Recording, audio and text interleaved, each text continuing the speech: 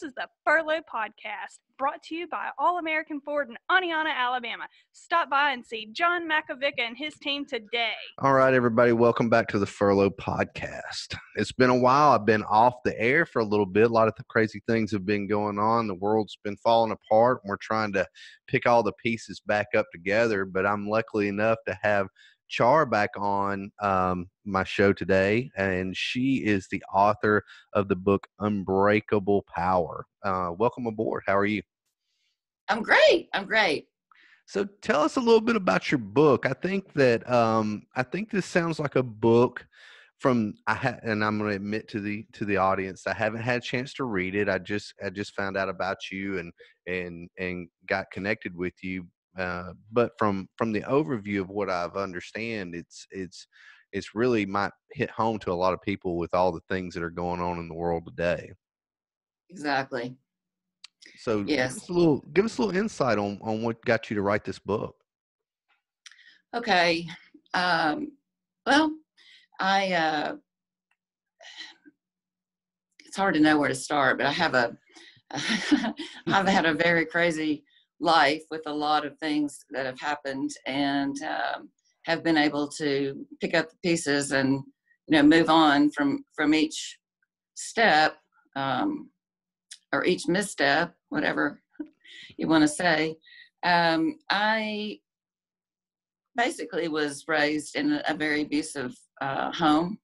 Oh wow. And not, uh, yes I, I from a very young age and not only was was the abuse there was a lot of abuse between my parents but also me being the oldest and i have two younger brothers but i was the oldest and um, got to witness uh, a lot of it uh, m- pretty much all of it my mm. whole life mm. and not only that uh, my mother was a um, well she was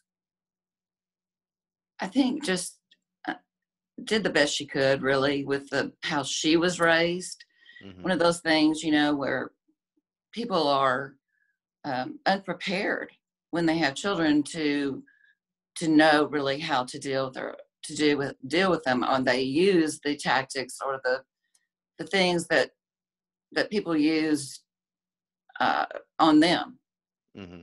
You know what I'm saying? Yeah, I mean, you only know what you know. You know, you exactly. Try, you that's you, right. You even if it's a, an abusive thing, and you think to yourself, "Well, I'll n- never raise my voice at somebody because it was raised at me," or "I'll never raise a hand to somebody because it was raised at me," and it's exactly it's so ingrained, and you f- even if you fight it, you, you fight the fact that you know it's it's you it's a it's um it's just something hard to, sh- to shake you know, they and you know I've I've heard people say that abused abusive people were typically abused when they were children because it's just beat into them, if you will. I believe that's true, but um, you know, unshakable power came about because I I began to have to at a very young, very young age um, learn how to save myself basically. Mm-hmm. you know um, from the abuse and uh, being not only a victim myself of it but of witnessing it over and over. It was it was really terrifying at times. Um, and uh, i pretty much endured that till i was you know left and went to college. Mm. and um, i have a degree in psychology and english. Um, double degree, and then I I got married after my third year in college, and my child was born um, a couple years later. So I was a very young mother myself, and I uh, was divorced from my son's father and raised my son myself his whole life. Really, I was his his only parent. Okay. And then at the uh, at a uh, after being out of school for about eight years, I uh, decided I wanted to go be a lawyer. Okay. That's awesome. yeah. Um, but I, I needed to wait until my son was old enough. So it was about eight years, 8 or Mhm. nine years. And um, so being a single mom, going to law school when you're 32 years old and everybody else is 24, still living at home with mom and dad, yeah. it was, it was a little bit, it was a little bit, a lot rough. It was pretty rough Oh, yeah. uh, studying all the time and trying to make sure that he was taken care of and had everything he needed. And of course, in law school, they won't they won't allow you to work the first couple of years at least.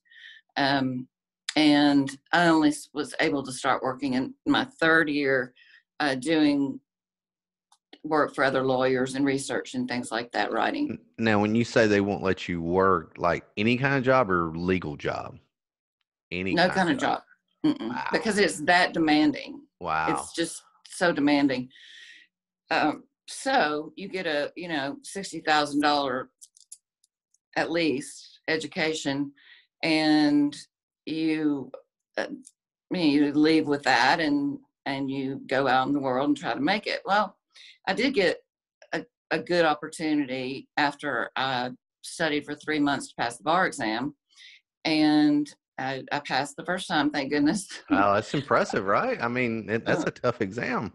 It is a tough exam, and some of my best friends in school did not pass the first time. That was that was that was really hard. Right. Is to pass myself and not be able to really fully enjoy that because of, you know, my friends Sure. didn't pass it, and then they were extremely upset. I mean, it was, but anyway. So moving on, I uh, worked for um, a great law firm. They taught me a lot for about five years. And then I said, you know, I'm making these people a whole lot of money.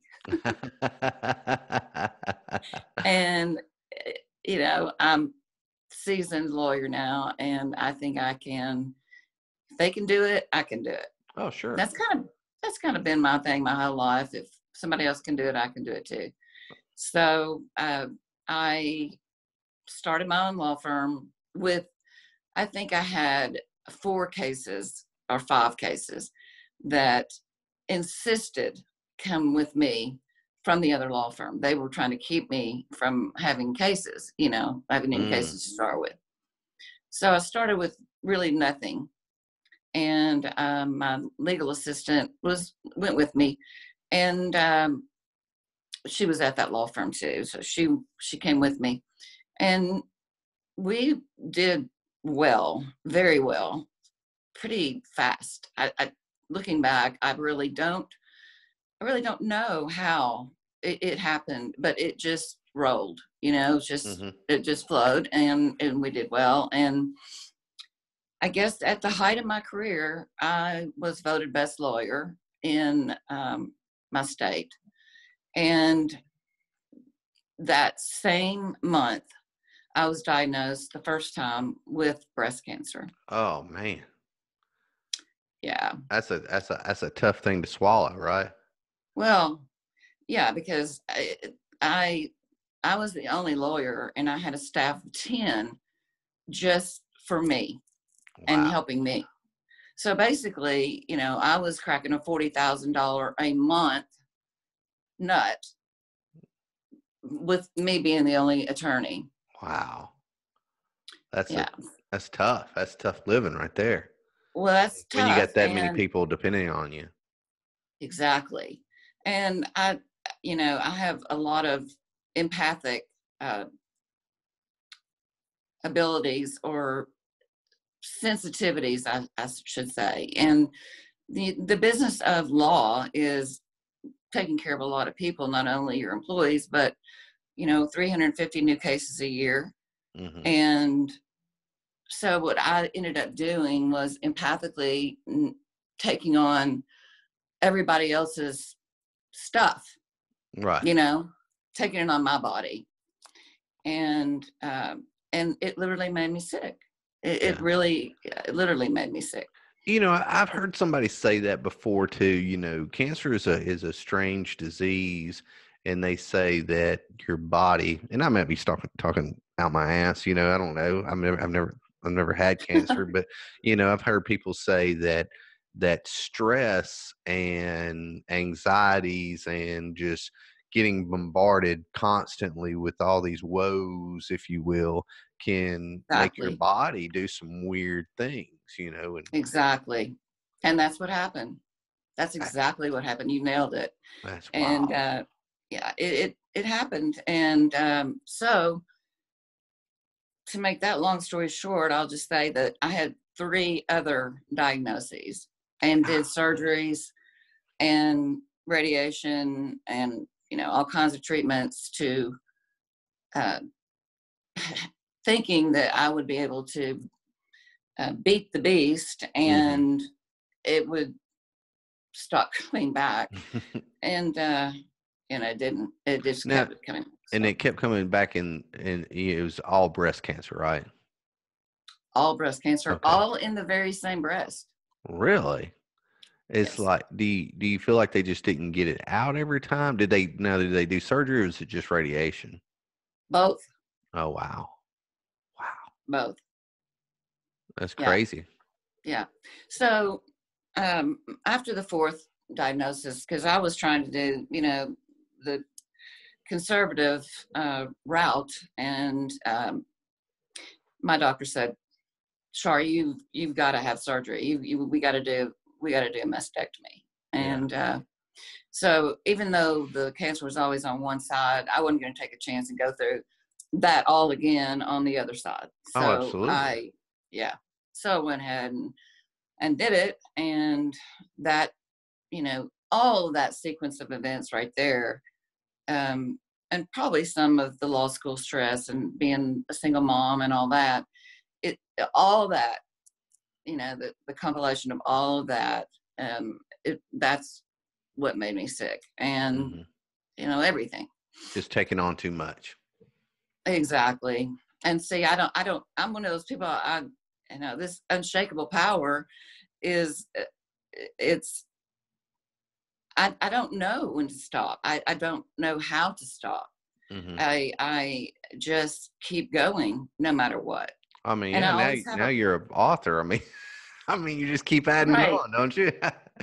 well it didn't just happen overnight you know i had Right. a i had a pretty bad i mean you know pretty extreme situation trying to come back because not only did it um it affected me financially to the point where uh, you know i didn't know if i was going to be able to recover from that hmm and um also i had married um i had remarried and i we ended up getting divorced because i was a wreck.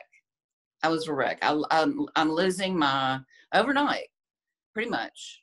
I'm losing my career uh, my business. I owned my own office buildings. They were gone. A house that we had just remodeled just finished remodeling hmm um we lost the house. Oh, we lost i mean i lost everything pretty much but my life Man. and so when when that happens to you you really take a step back and say why why first it's why me you know why Sure, why why sure. That's natural. for me you know That's natural. Yeah. sure sure and then you start to look deeper within yourself and say you know i was questioning well i, I lost my identity i had no idea i was lawyer Char I Mhm. was, you know, pretty well known. And all of a sudden, I don't know who I am anymore. Yeah. Okay. So i started on a path to recreate myself. hmm Well, that's going to lead up to my question: is is did you did you think about okay what's truly important now versus what you may have thought was important before? You know, it, Mhm. it's like you kind of look around and go, you know, sometimes I, I was having a discussion with a, a, a guy the other day, and we were talking about houses. For example, you mentioned remodeling houses, and it's like, you know, some people just like, I worked so hard for this house, and then I die, you know, and then you know, so you Oh, so you have to go back and go, is what you're doing really important and does it make a difference to you in the long run? And for some people it does. Everybody has a different perspective right? You know it's like some people are artists and and they you know they're going to create no matter what. Some people love the law you know and and being in and whether they're a trial lawyer or a insurance lawyer whatever their discipline is or or a doctor you know there's some people um my mother used to work for a doctor that she would have to remind him to eat and, you know, because he would work so hard and he would just he and she'd make that comment. I'm thinking, how would a doctor not remember to eat? But it was like as soon as he walked through the door until he left, he was nonstop. So so you just have Yep. to reevaluate what it means to you, right? That's exactly right, Chris. I the things that were important before were no longer important. It wasn't important about the owning the office buildings or even the house uh, that doubled in size, you know, and Mhm. the cars in the garage or anything about that. It was about what what what do I really want? Mhm. who am I really? Because I don't believe we are what we do. We're not what we do. We are, yes, we are much more than that. And we are, we, that, that's not our defining statement is not, I'm a lawyer, I'm a doctor, I'm a this or I'm a that. I'm an author, but I'm, I'm much more than that. I am Sure. a, you know, so there's a, something that really helped me get through all that uh, was realizing that I had a purpose in life, that Mhm. I was literally saved um, for a reason much more important than practicing law Mhm. and much bigger. And I wanted, always my passion has been, even that's why I went to law school. The reason is to help people, right? Maybe for some, not for all. Mhm. Um, but for me, it was to help people. Okay. And um, and I ended up helping people, a lot of people, but harming myself. Yeah. Yeah. So um, yes, definitely my my values changed and my focus changed, and I had to dig really deep to figure out who I really was Mhm. or who I really am. Yeah, I mean, way. yeah, I mean, did did it make you think about who you wanted to be as far as, you know, you you've accomplished these obviously great milestones for many comparatively to many people as far as being a single mother, going getting finished through college, getting through law school and doing all these things.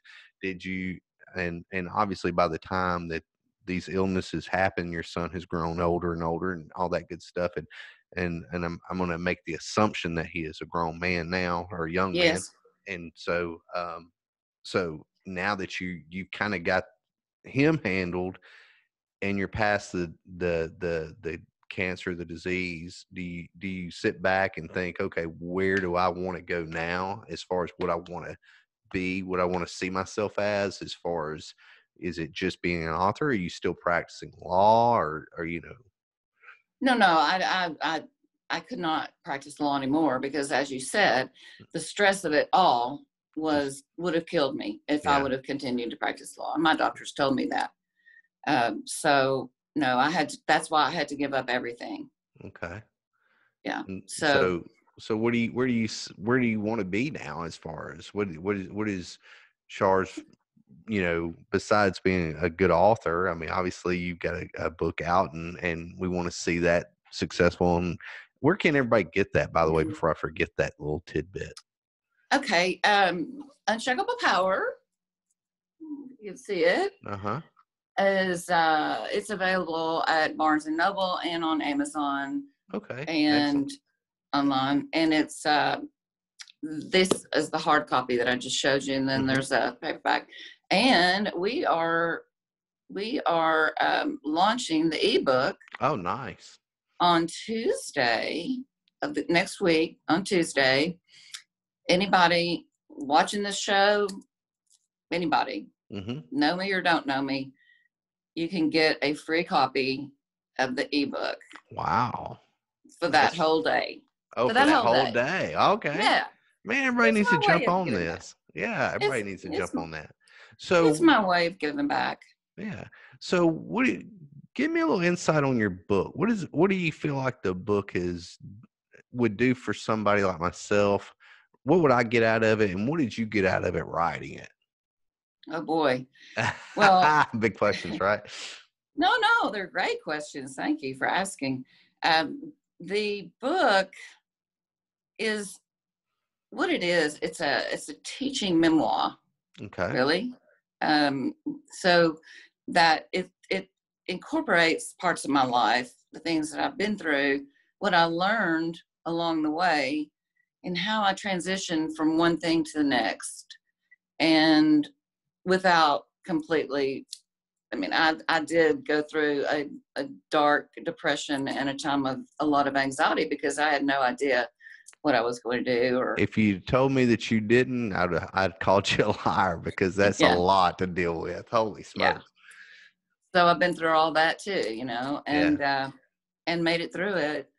And to be here right now in front of you and your audience um, with my book, I actually have published three books this Oh past year. wow. Three. Holy smokes. Sounds like you're not a quitter. See, I told you, That's I like warned you, three books. Holy smokes. and I don't eat. Oh no, goodness. Well, I, mean, uh, that's why I was shaking my head when you told me about your dad. I was like, oh yeah, I know that's my story. I, Yeah. I don't have time. I, like even today, I have not eaten Oh my because goodness. I have been doing, you know, one thing after the other. Yeah. And uh, anyway, and I have another show this afternoon, so um, I'm just, I don't, I don't quit. I don't quit. But and so that's where the unshakable power comes in. Right. But it also comes in in a deeper way because when you go through those those life changing things, like a lot of people are going through now, just with the virus and uh, with the Unrest. social and- situation and unrest, yes, Yes. and they're losing their jobs. They don't know if they're getting them back. The company companies are going bankrupt. It's it's just so scary to think that one day you have it it all, and the next day you you have nothing, and you don't know who you are, why you're Yeah. here, where you're going, or you know what do you do? hmm So that's what my book is about. Is about re- recovering from one thing at a time and just taking one thing at a time.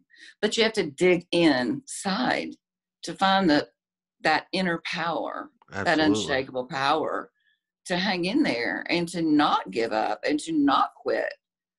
And just take that time as a ref- time to reflect. It's a time of reflection, even though it's scary as hell Yeah. you could yeah um but it's a great time just to go inside and figure out like really get in touch with yourself as far as who am i who am i really am i that car mechanic or am i that plumber really uh, that you know lo- lost my career or whatever? I it could be anything. It Mhm. happens to everybody. It can happen to anybody. And it's so funny because, and I say funny, funny like in almost like a weird kind of way is is, you know, when when when when you're a kid and you're growing up and you look to adults and you think, man, they got they got the answers, right? You know, you just because you just make that assumption, and then as you begin to become an adult, there's so many Yeah. things that you like, you start questioning. You know, like man, the, you know, you didn't realize that the adults around you, as good as they did for you, or made, you know, hopefully did for you around you that you looked up to, that, you know, they were still figuring it out too. And I think people, exactly we're always going to be trying to figure it out. And, and, and, and I think that if we don't admit that to ourselves, we're lying to ourselves, you know, because, you know, everything I do every day, I'm trying to figure it out. You know, I'm trying to make this right decision or that right sure is it the right decision? So I, I think Right. that uh, from what it sounds like your book's about is you know okay you make a misstep you know you know you just you have to kind of move to the side and, and go down a little bit different path. That's exactly right you just have to shift shift around and transform and and recreate and be the alchemist that we all are, Yeah. you know, and just Now, would you Yeah. say that in in in and I'm going to do my interpretation, so you agree or disagree on this on this Okay. on this interpretation? Is it sound you know, and I try to tell this to people is, and you made the comment, you know, figuring out who you are, right? Just because you're a lawyer at one point, a successful lawyer, just because you're not that lawyer anymore doesn't make you any less or even any more than than what you were. You know i think people get so mm-hmm. wrapped up in in what they want people really want other people to believe they are versus what they're worried about being inside you know am i a great am I a great musician? Am I a great lawyer? Am I a great doctor? Am I a great whatever? And, and then they take it away, and that's when you see people go in that great deep depression, like you said that you went through, and you have Yeah. to get through that dark time. And uh, and I think we need to get away from titles a lot of times. You know, when we deal with people on a Exactly. personal basis, and it's so That's many right. So many people I've heard get introduced, you know, hey, it's my buddy. He's a he's a policeman. You know, okay, well that's great. Or she's a nurse. Oh, okay, wonderful. But you know, we throw those titles all the time, and exactly. and during a lot of this um, pandemic stuff, and you know, Yeah. this, you know, they're talking about essential workers. Well, you know, we're all essential to somebody, somehow, some way, right? And Right. and so I'm I'm a big I just don't like titles that much. And so I'd, I'd always try to get people to, like yourself, you know, okay, you're this today, you can be that tomorrow. You know, there's no, there's no Exactly. time frame. That's exactly right. And and really it, it was it was a blessing for me. It was it was total uh, I was blessed with breast cancer. And because because I was blessed to be saved literally my life saved four times, I I can bless others now.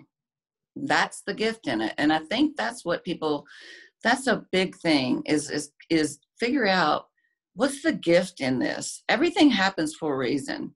hmm And if you just go kill yourself, jump off a cliff or whatever and give up, you you could have missed out on the very best opportunity that you were being offered by Mhm. losing that job. And you could have you could have lived your passion, your real dreams, your real the real you. hmm And it's all in in there. You just have to find it.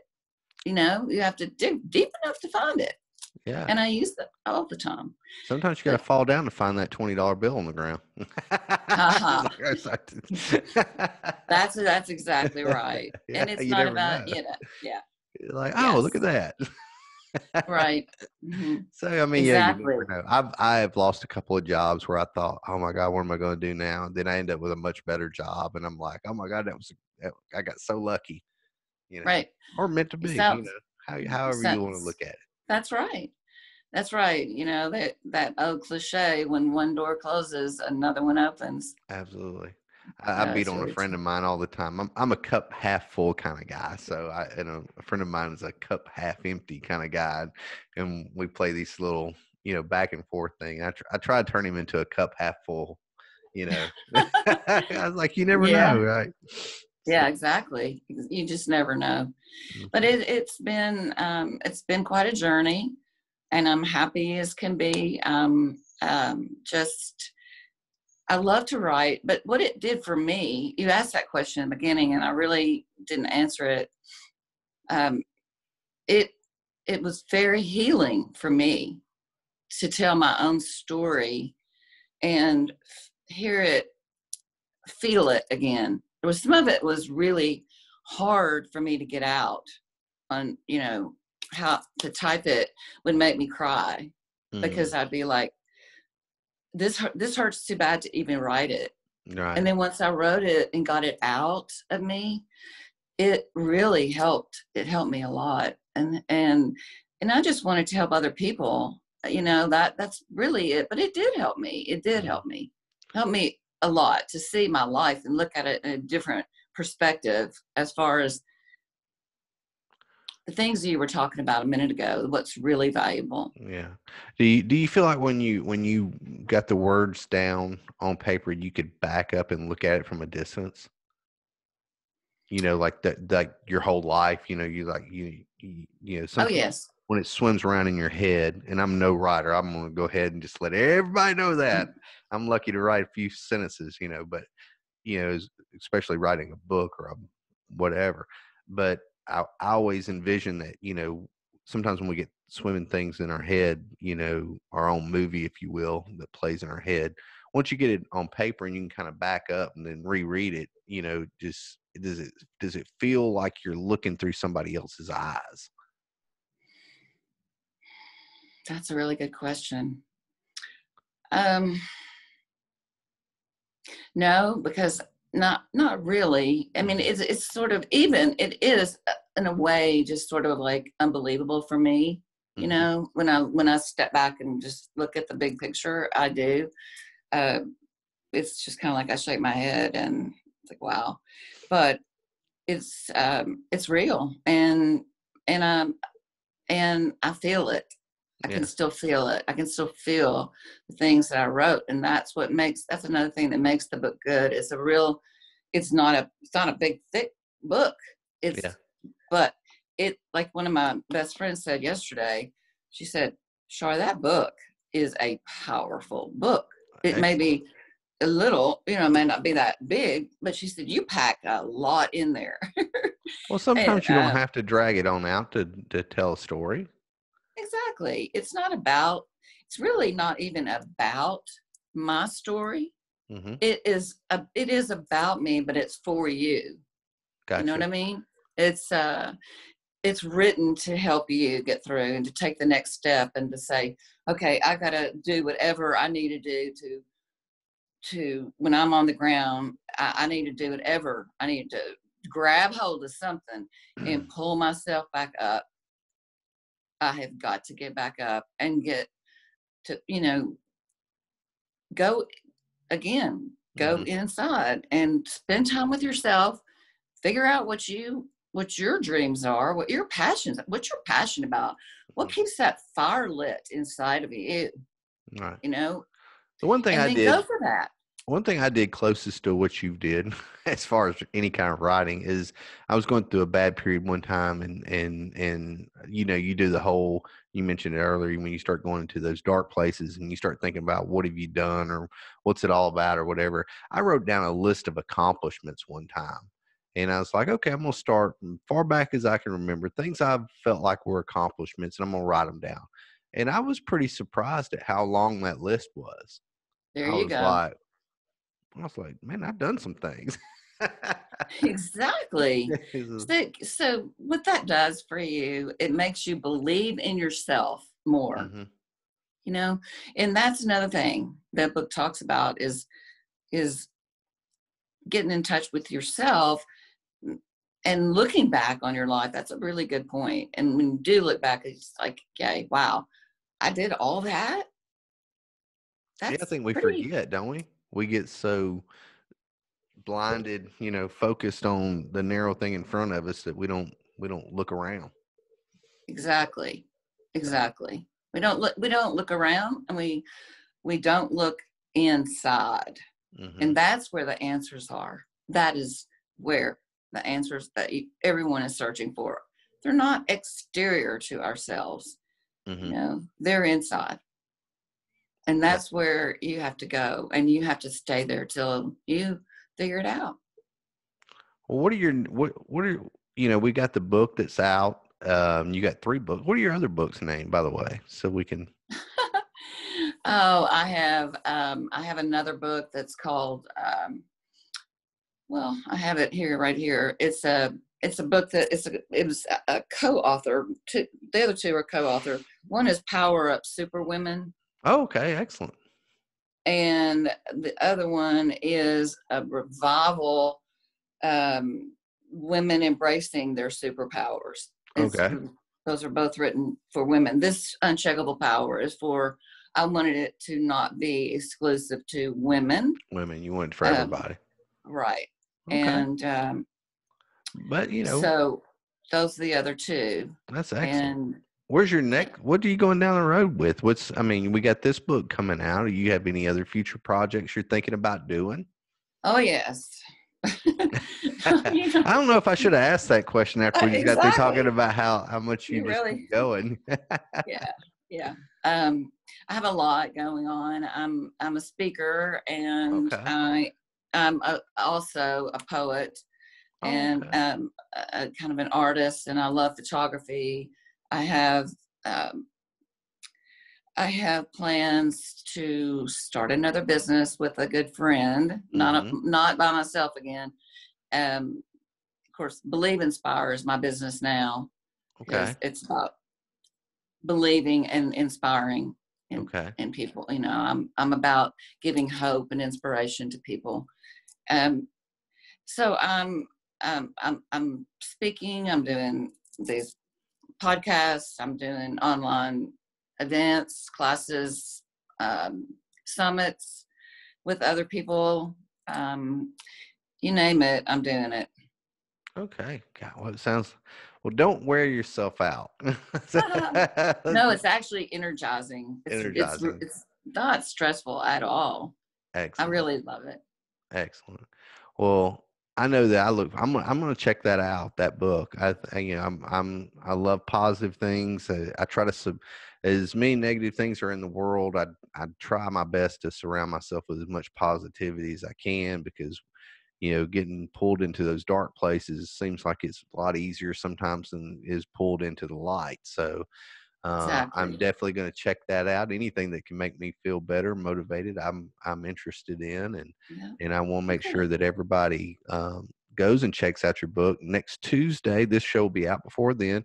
Uh, Tuesday, what's the date on that? Uh, 16th. the 16th. So everybody needs to go and check that out if you're an ebook person, if you like to do it that way. But I highly recommend that you go and get the hard book because having the hard book, I feel having it sitting there where you can see it, don't put it away, have it sitting there so that when you have those days, even if you don't read the whole book, open the book up and and and find a section, just read a section and and you'd be shocked at what just reading a little something positive will do for you. And to me, I wish books would get. I know everybody wants to go to ebooks, and I think that's great.